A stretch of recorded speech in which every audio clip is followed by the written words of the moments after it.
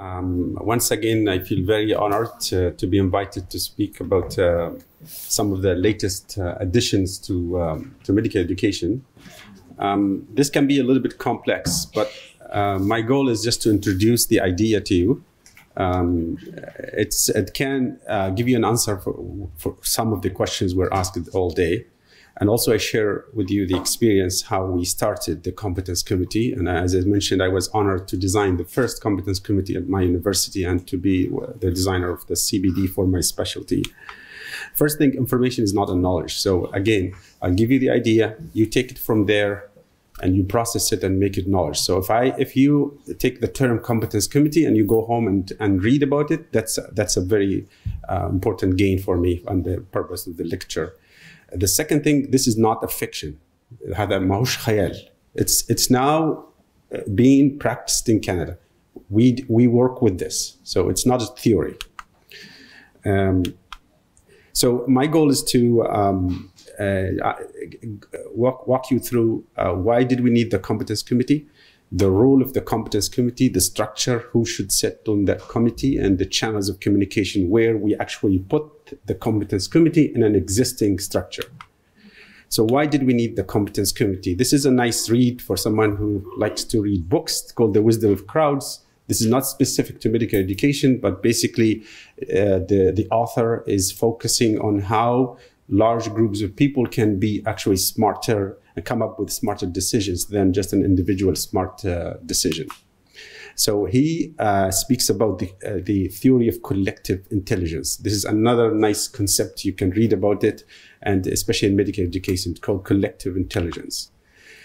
Um, there's so many articles about, uh, they studied how group decisions and how uh, they can be more beneficial and fair. And uh, I use the word fair uh, because sometimes the subjectivity may not be fair to the students.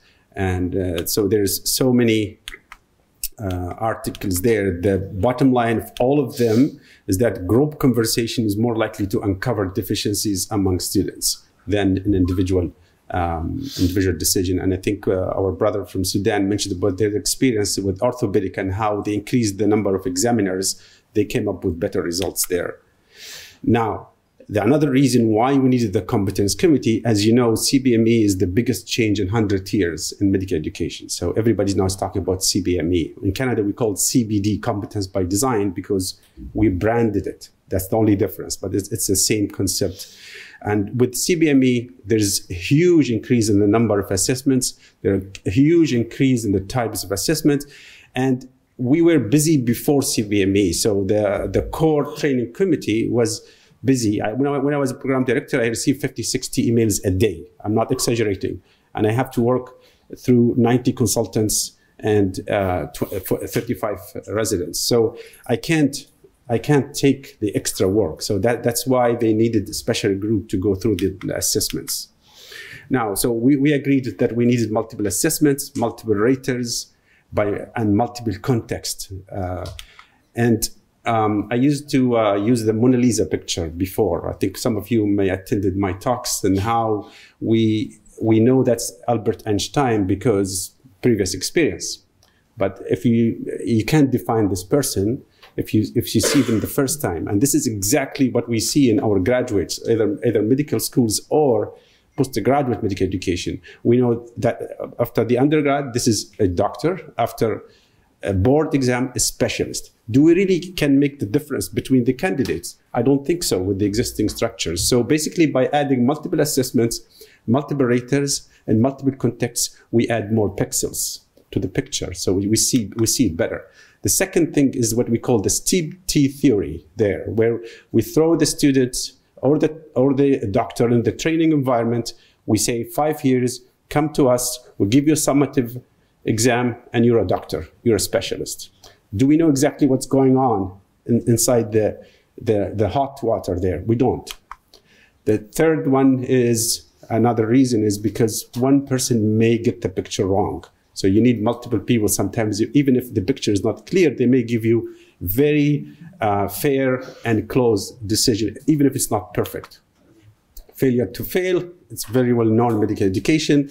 If I give you more assessments, if I give you more information, I think your job will be much easier to fail somebody. Um, again, spoon feeding is not the goal. It's gone. It's an old tradition, and we should deviate from it. And that's where you need the multiple assessment and multiple raters, multiple context. Uh, again, with with the focus on the non-technical skills, soft skills, they're all the same name or CanMEDS. So soft skills, non-technical skills, CanMEDS, they, they mean the same, exactly the same. These ones are the hardest to teach and assess. If you give you a curriculum, a, a, chapter in the book, I think you, every, everyone here, it's easy to uh, extract questions out of it. But to test someone's attitude, behavior, time management, resource management, leadership, communication, collaboration, scholarly, how they critically appraise article, how they design research, those are the hardest one. And if you uh, collect more information, again, they will be easier to, uh, uh, to assess. Now, the other thing we, we shifted from is to use the assessments for, for teaching, for learning, instead of just to hunt the mistakes or to decide pass or fail. Now, again, I want to reflect on what's going on in our country here, so, and especially with the postgraduate medical education. We use a summative test, one summative test to declare competency. And I think this is time, and I repeated this before, it's time to change this. The Canadians, they changed the board exam to its assessment tools. If you, I think this morning somebody mentioned quickly the, the, the, the stages of training. The Canadian board exam is within the training program now. So they come back to the system and they have to prove in a stage called transition to practice stage that they are consultants, they are specialists. So the focus in a summative test, I think it, it needs to be changed uh, here in our country. Types of assessments, there's so many here. I'm giving you so what, what, what's going here? We, we have training. I don't think we have training, but let's say we have training because we don't have uh, clear curriculums. It's not practice it. We don't have an assessment. Um, and then at the end, people enter the exam in, in, in a summative uh, questions, and that's the summative questions and summative test is the main determinant of the of the competency. This has to change. That's my point, and we can discuss it later because I have 20 minutes. You have you have to you have to uh, subtract the two minutes. yeah. So the O score, and I'll, I'll, highlight the O score. I'm not going to mention all the assessment and new assessment tools. You can read them. The number of assessments, I, this is important because it may answer some of the questions about the technology this morning. This is a real life example. It happened to me in 2017. So when we moved from years of training to stages, we design it EPAs. EPA is entrustable professional activity. It has milestones, it has assessment tools, and there is a required number of observation to achieve, achieved observation. So for the first stage, TTD, transition to discipline, you need nine observations. For foundation, you need 115 for each student, for each trainee.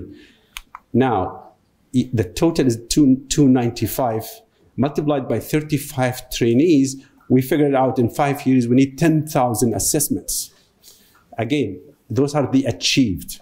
So those uh, trainees most likely will, will have same number EPAs because it's it's formative assessments and they're not achieved. And that's where we needed the electronic systems here.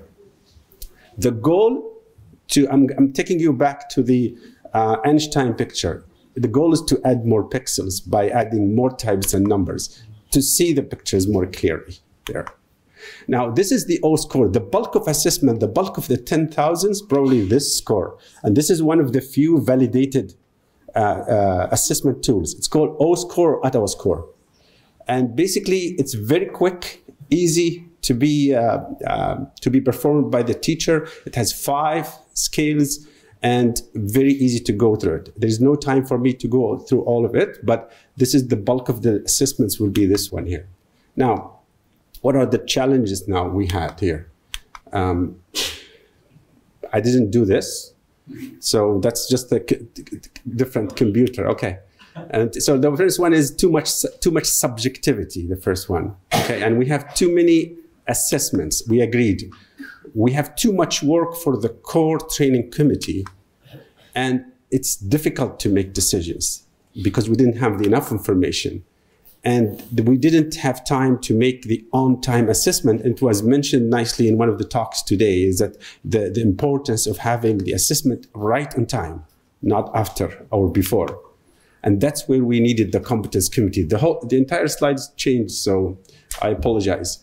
But uh, the, this is where we needed the group of people to go through all of these and come up with recommendations, not even decisions, as I will explain. This is another nice way for the electronic and computer systems to give the committee an easy way to um, um, to to make decisions. So it's called SpiderNet or Radar Plot. And it, this, the current softwares we use, they can do this. So if you have 200 assessments for the same person, and if you look carefully around the circle, around the spider net, there's prof is professionalism. Uh, for example, com is communication, uh, the knowledge, okay? And the red is the expectation, or you can make it as the class average. So by, by in one second, by quick look, I know that this candidate is, has a problem with the knowledge, is below average, and communication compared to everybody else. So just by, this is a sum of hundreds, can be hundreds, can be tens of uh, assessments. And it's, it's been in use now. Now, competence committee structure, membership, chair, and we advise that the chair is not the same of the uh, chair for the uh, uh, tra core training committee, completely independent. The program director or the main uh, main person in charge of the program, we make them non-voting members because we, we don't need the bias. So they, it can be very fair. The associate program director is there. The primary reviewer is a new position. This, those are the people who, who review the profile and present them uh, um, at the committee, and I'd explain their role. The program administrator, this is the secretary, and now this is the very interesting one. There's a lot of discussions about bringing people from outside the either the hospital, the specialty, the medicine, to be members in the competence committee. And you can see it may looks bizarre, it may be not very clear, but you can bring another program director from another specialty or another university or you can bring a nurse, other healthcare professionals, or any surgeon, for example, to anesthesia and so on, or a public member. And this is where the debate is, and you can see a lot of publications about this. If, if the aim is to provide service to the public, why not to have a public member at the competence committee? Um, now, the primary reviewer, quickly, I'm going to go th through the things that the program reviewer can do, review the trainee's portfolio, presented at the meeting, also contribute to the discussions and with all trainees and communicate with the academic advisors. Now, this is another uh, newer position. We used to have academic advisors, but now their role is a little bit different. So they, um, they actually supervise academically the candidate. They can have up to four, but you can have the number you want. And then they they help the trainee to reflect on feedback. They sit with them. They come up with um, uh, with uh, learning plans. They uh, they give the advice, and they're the link between the competence committee and the candidate.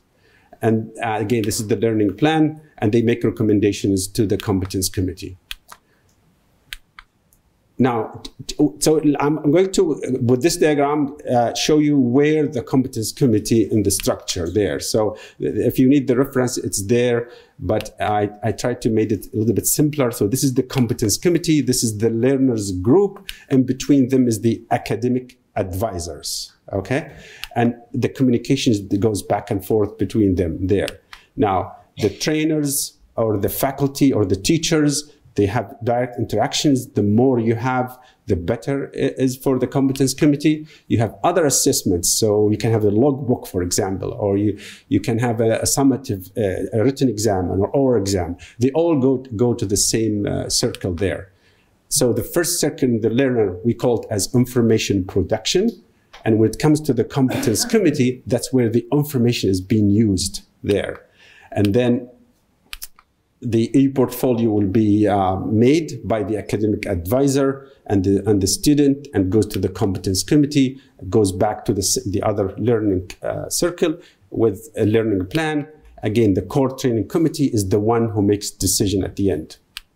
Um, th these are the type of decisions we make at the competence committee. So number one is progressing as expected. You just monitor, you don't do much. Or if they doing well, you can give them room to do more.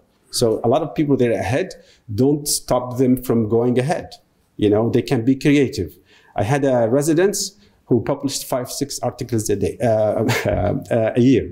And that's more than the average, even faculty there. So if, if he's doing well in his study, make him publish more, help him.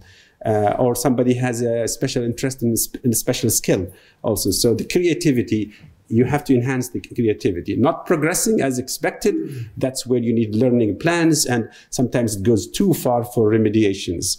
Progress is accelerated, those are the people who are really ahead, and I spoke about that. Failure to progress, again, that's another problem there where you need, uh, sometimes you may need even to stop trainees, and we did. So uh, uh there's no um, sympathy for uh, when you when you assess people in the right way. And if you think that this candidate, if you give them the, the label specialist, they can't take care of our families and you pass them, that's our mistake there. There's no sympathy when it comes to delivering healthcare. And the goal is not to graduate people. The goal is to give the right care to the right people. So we're all responsible. If we graduate someone, who we know that they're not competent. That's our, our fault there. Um, inactive, that's another, people go for maternity or paternity leave or so on. Summary. The quickly, so it's a subcommittee, it's not an independent committee. And it collects and makes very robust review of the assessments and, and uh, residence performance. The goal is to ensure all residents achieve requirements on time the membership we spoke about, and the I, I forget to write here the uh, other the outside members, but you can. Uh, the meetings, the yearly, as you can have as many as you want, two to three meetings. And the, by the way, the competence committee meetings they can go very long, hours and hours sometimes because of the debate. Um, the assessment data, those are these all assessment tools you can um, you can have them to help the competence committee make decisions. Uh, the process and how primary reviewers are responsible for reviewing the uh, candidates' uh, data and connect with the academic advisor. And the decision is how they can be made. And the confidentiality, and that's a big topic when it comes to medical education in general, not just the competence committee and recording and documentation, which, especially people who are uh, interested in accreditation, you need to document everything there. So thank you very much.